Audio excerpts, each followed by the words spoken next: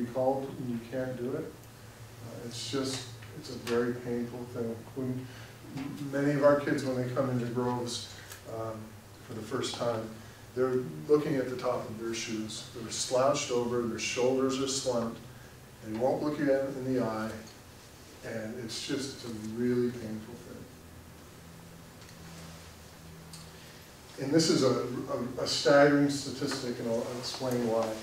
If by um, the start of third grade, we have not identified kids with a reading problem, and, big and, we have not given them proper forms of intervention, there's only a twenty-five percent chance that that student will learn to read at grade level in their public school career, or their school career. Now, why is that a big problem? Because the current way we identify students is, with a reading problem, is that there has to be a gap between their intelligence, their potential, and where they're actually functioning. And the gap has to be of certain magnitude, about one point five standard deviations, for that child to be identified as needing intervention. And by the very nature of it, it takes a few years, right? Because if you're in first grade and you're just learning to read, that gap hasn't grown sufficiently yet. You- You're not gonna be at one point five standard deviations until well after third grade. Most of our kids are, aren't identified until fifth, sixth, seventh grade. And by that time, statistically, they're way behind the eight ball. They're way behind. What are some of the ramifications of illiteracy? Well, forty-three percent of Americans with the lowest literacy skills live in poverty, and seventy percent have no jobs or a part-time job. And conversely, only five percent of Americans with strong literacy skills live in poverty.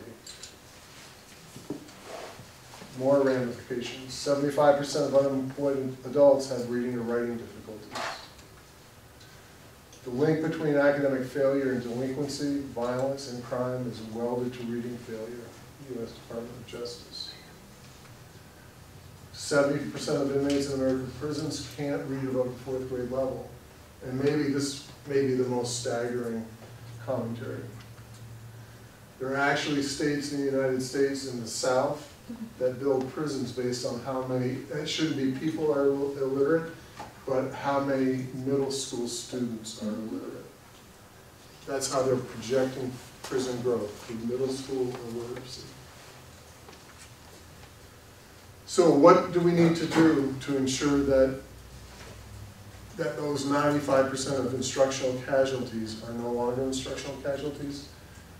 Well, these are the characteristics of, of good reading instruction, that it's direct and explicit, it's sequential and systematic, it's multisensory, and it's developmentally appropriate from a meta aspect, from a, a child's ability, where he is uh, in, the, in the cognitive maturation process. So what are the four components of, a- of a literacy framework? Now, this literacy framework that I'm gonna talk about for the rest of the night is a literacy framework that I've been kind of developing over a, a period of, of, years. And then finally, last year, I felt good enough about it that we implemented it here at Groves. And I'll show you at the end of this presentation some of the results of that. And we're also exporting this right now. This same literacy framework is in a charter school of high-risk kids in Minneapolis. We're in year two of a three-year uh, pilot pro- uh, project with them, and we got very, very good uh, results in year one. We've also taken this, uh, components of this framework and worked in a Minneapolis public school uh, two years ago, three years ago, and got very good results as well. So the very first component of it is quality core instruction, making sure that that reading curriculum that's being used is evidence-based, that it's not um, being sold to the school uh, by a publisher that has no uh, evidence behind it, has no research behind it. And along with that quality core instruction, uh, teachers need to be trained in how to use that curriculum. It's also um, you have to have data-based decision-making. We have to objectively look at how kids are doing. It's not a subjective, I think Billy's doing really well, and he had a really good week. But it's looking at data, objective data, to help us inform instruction, make thoughtful decisions about the curriculum and how we use it. Third, uh, we want to use a response to intervention model, and I'll get into that in a, in a minute. And finally, we have to have time for professional collaboration. So if something isn't working, looking at the data and seeing that a child isn't making an adequate rate of progress, we have to have time as educators to sit down and figure out what's going on, why isn't that child making progress, what do we need to do to intervene to make sure that they catch up. There has to be time for that. So the five strands of reading, uh, which I think drew you here tonight, and which I'm really talking um, as part of the bigger picture, are phonemic awareness, phonics, fluency, vocabulary, and comprehension. And I'll talk a little bit about each and then how we integrate it into a program, uh, a literacy program. So phonemic awareness, very simply, is a child or anybody's ability to sequence and segment um, and manipulate the sounds of a word. So we're not even, don't even think about print. This is just a spoken word. So a child in the middle of first grade should be able to tell us that cat is comprised of how many distinct speech sounds? Three, right? At, okay? But we don't go, for efficiency's sake, we don't go around saying at. It's, it, it comes across as one pulse, cat, but a child has to be able to dissect that, because if you can't tell me that three, that there are three speech sounds in the word cat, it becomes very difficult to overlay an abstract representation, a letter, to that sound. And not only can, should he be able to tell me that it's three sounds, if I say, Billy, take the word cat and take the first sound away, what do you have left? Billy should be able to tell me at. Okay? So that's what phonemic awareness is, just the ability to hear, segment, and manipulate sounds found within words. And it's really, um, this is a, hold on to this slide, because at the very end of this uh, presentation, I'm gonna give you something that you're gonna have to rely on this slide. So it's really important to understand that speech sounds and orthographic systems are different.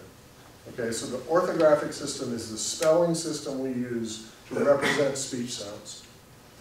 And one's a, an auditory system, a speech sound system is auditory, the orthographic system is a visual system. Okay, and unless teachers can distinguish speech sounds and teach them both in isolation and when co-articulated, it is very difficult, if not impossible, to convey this understanding to students. And again, we're gonna come back to this at the end of this presentation. So how do you teach phonemic awareness? Well, there are lots of different ways. One thing that can be done, and I apologize for Cat and City being here, but uh, we can take children at, you know, five, six, seven years old and just play with, with uh, colors like this. So I could say to a, a child, um, Billy, this is the sound k. Can you show me the sound? So Billy will say I'll say, good. So Billy, this is the sound ah. Can you show me the sound ah? So Billy will pull down the blue and say ah. And then I'll say, Billy, this represents. Can you show me t? And he'll bring this down and say t. And I'll say, that's great, Billy. Now, can you spell the word cat? So Billy will go k, a, t. So he's just manipulating sounds. Then I'll say, that's great. Can you spell tack? So he'll go t, a, k. And when we do this over and over and over again until this is automatic, until they can manipulate the sounds of words, and we're gonna go, you know, from from one sound to two sounds to three sounds. Then I might you know, introduce a blend, so maybe this is plat, at, and he has to manipulate those sounds. Um, We'll do this over and over and over again until that sound structure is automatic. And we always, for these kids who have reading, and let me just say too, that good reading instruction is good reading instruction. So it doesn't matter if you're the most severely dyslexic kid in the world, or you're Mary, the overachiever.